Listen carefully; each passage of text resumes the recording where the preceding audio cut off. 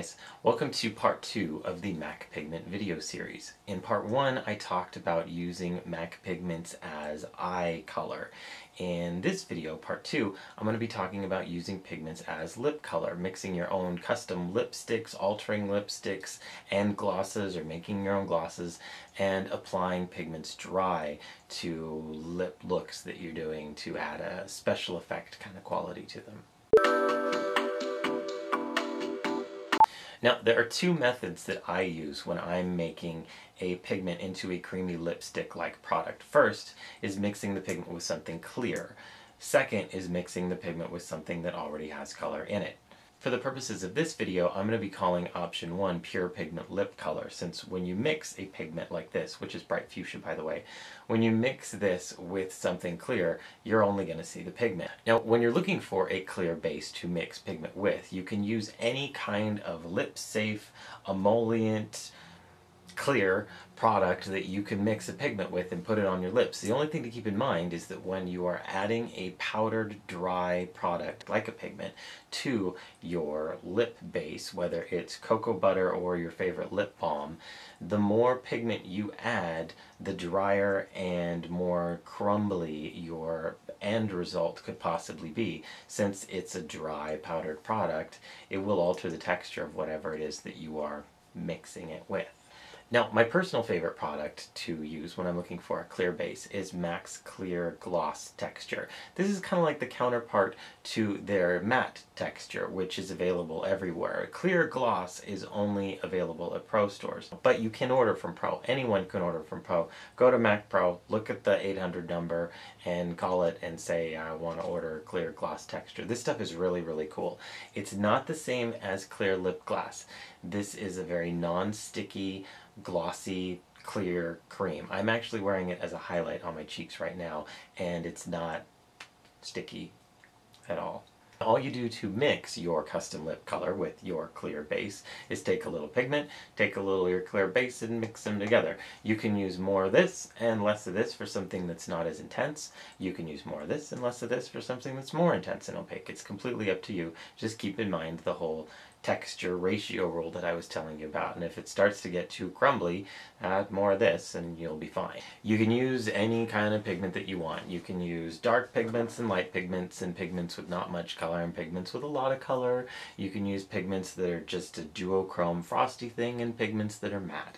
Personally, I really like the way that rose pigment looks mixed with clear gloss. It's very, very understated. It's barely there. It doesn't look like much of anything, but it's really, really, really pretty. You can also mix fuchsia with clear gloss, which is the other swatch that you see on your screen if you want something that's more bold. That's a really fun one to do as well.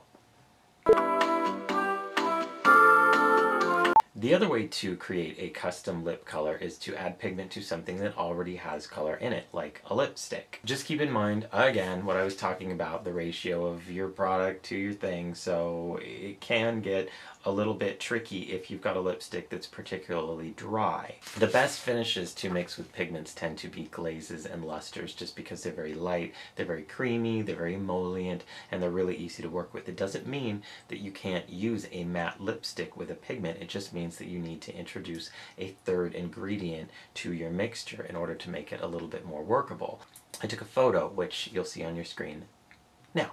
And the photo that you see is Ruby Woo mixed with white gold, which you can't really tell, but it basically makes Ruby Woo into a bright frosty red. To the left you see the pigment mixed with the lipstick and that's it. You can see how it's kind of crumbly and very dry. But then just by mixing a little bit, like the smallest amount of clear gloss texture to that, you get something like you see on the right, which is much more creamy and way easier to work with. Now, if you're a fan of matte lipsticks, everything that we've talked about so far may not work for you because all of the techniques that I've talked about so far will give you a satin finish at best, but most of them are going to be very moist and, and, kind of glossy looking. One alternative that will give you a very truly matte lip is to mix your pigment with a liquid foundation or liquid concealer. Now, mixing pigments with foundation can actually be a lot of fun because though the outcome won't be as vibrant as the pigment, because the foundation or the concealer does have a lot of color to it in the first place, the end result is usually very, very wearable because you're mixing your pigment with something that is flesh toned. And more so if you're using your own foundation or concealer that's matched to your skin tone, the end result is basically half your skin tone. So what you end up with, even if you're using something like Bright Fuchsia, which is really, really vibrant, is a very wearable hot pink um, because half of the color is you. Now personally, my favorite product, foundation or concealer, otherwise to use when mixing with pigments, is MAC Studio Sculpt. I like this because it's a, like a gel based, so it's very creamy, but it's not liquidy, so it's not going to run. It makes it really easy to apply.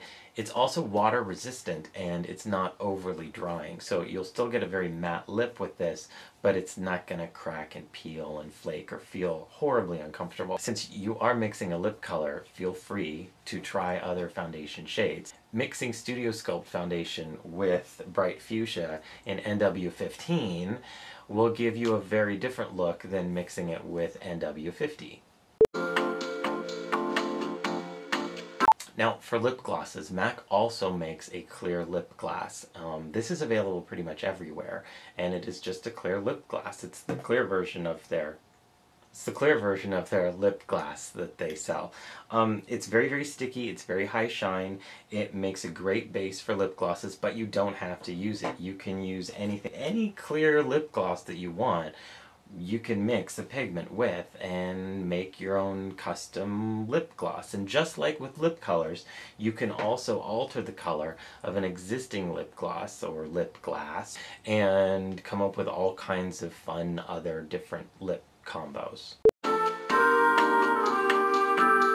Okay, now the last thing that I'm going to talk about in the pigments as lip things video is applying them dry because you don't have to mix your pigments with colors in a spatula and get a mortar and pestle going and have some sort of brew thing. You can just use a brush, some sort of fluffy brush like the MAC 224 and dust it over your lips for some really, really cool effects.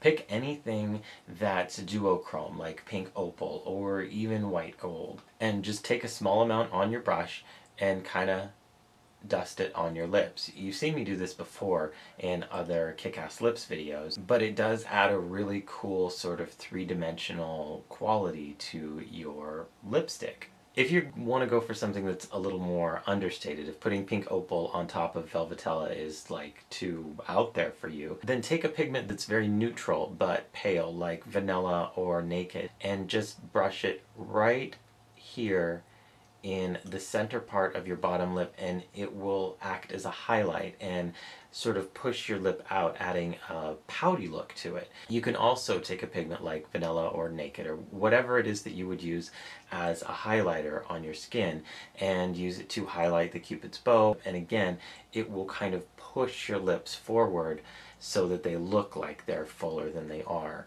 I would show you photos of that but um, my cupid's bow is covered with a beard so it won't work. So that's it. That's pigments as lip color. That's mixing them with a clear base so that you just have the pigment color, mixing them with a lipstick that you have, mixing them with a clear lip gloss or a colored lip gloss, or using them to add either a three-dimensional duochrome highlight or a very natural highlight to your lips or on the cupid's bow. They're a lot of fun. You can do a lot with them. Try some stuff out. Tell me what you think share your ideas in the comment section because I always think that that's really cool. And of course, stay tuned for part... Per fart.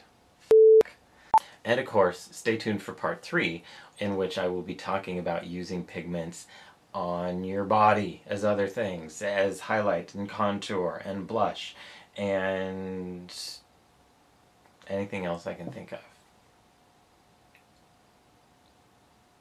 And body lotion. That's a good one. Um, so yeah, I hope you enjoyed this. I hope that this was educational, informative, entertaining, laughable perhaps. Um, stick around. I will see you soon. Take care. Drive safe.